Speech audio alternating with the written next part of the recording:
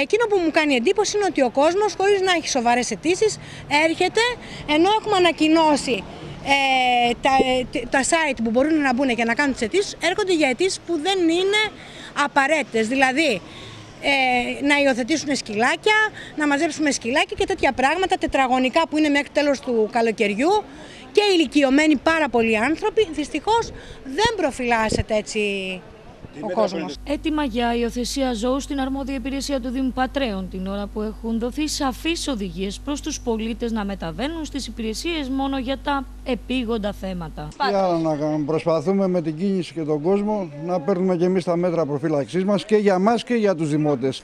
Σε υπηρεσία είμαι και εγώ στο ΚΕΠ κάτω στο λιμάνι και ήρθα εδώ για κάποια χαρτιά να καταθέσω που θέλω. Να μπαίνουν λίγοι μέσα.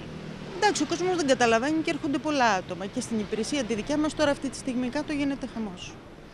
Ε, πρέπει να κατα... Ναι, έχει, έχει, ειδικά οι προϊσταμένοι και αυτά και έχουμε και από τον Δήμαρχο ε, πάρει. Εντάξει, ο κόσμος δεν το καταλαβαίνει όμως. Επιμένουν στο να μπαίνουν όλοι μαζί. Ναι, ναι, ναι, δεν έχουν υπομονή και...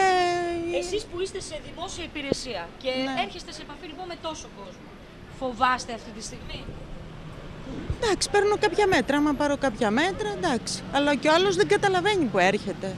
Σε προσεγγίζει πολύ, πολύ κοντά.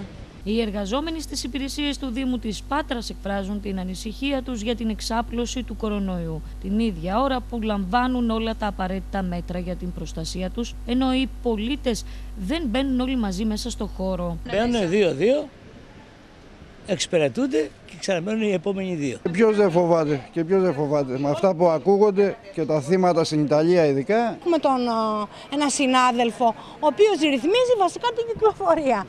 Έτσι δεν είναι; Ε, προσπαθούν να μπαίνουν δύο-δύο άτομα μέσα, γιατί και π- υπάρχουν μέσα συνάδελφοι που έχουν μικρά παιδιά, που έχουν γέροντες. Θα δούμε τώρα τι θα πει η εγκύκλειος του Υπουργείου για τις άδειες και αυτά.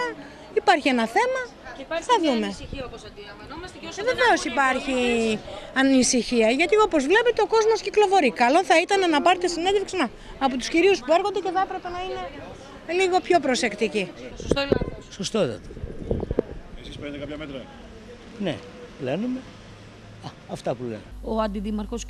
Πλέσας απευθύνει για ακόμη μία φορά έκκληση προς τους πολίτες να μην προσέρχονται στις υπηρεσίες εάν δεν πρόκειται για κάτι σοβαρό. ο καθένας να πάρει την ευθύνη επάνω του, να προσέχει, γιατί δεν είμαστε μόνοι μας, πάμε στις οικογένειές μας, πάμε στα σπίτια μας.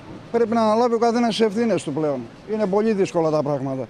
Δεν είναι σωστό να διακινδυνεύσουμε τον οποιοδήποτε υπάλληλο επειδή εμείς θέλουμε σώνει και καλά να φέρουμε σε πέρας μια υπόθεση η οποία μπορεί να γίνει και σε ένα μήνα και σε δύο μήνες και σε τρεις μήνες. Γι' αυτό λοιπόν απευθύνουμε έκκληση στους συνδημότες μας να έρχονται στις υπηρεσίες του Δήμου και όχι μόνο στις υπηρεσίες του Δήμου αλλά και στις δημόσιες υπηρεσίες γενικότερα για τα περιστατικά εκείνα, για τα ζητήματα εκείνα που έχουν α, καταληκτική ημερομηνία και αν κάποια από αυτά μπορούν να γίνουν μέσω των ηλεκτρονικών ε, σελίδων του Δήμου και άλλων υπηρεσιών να γίνονται από το σπίτι ή από τους λογιστές.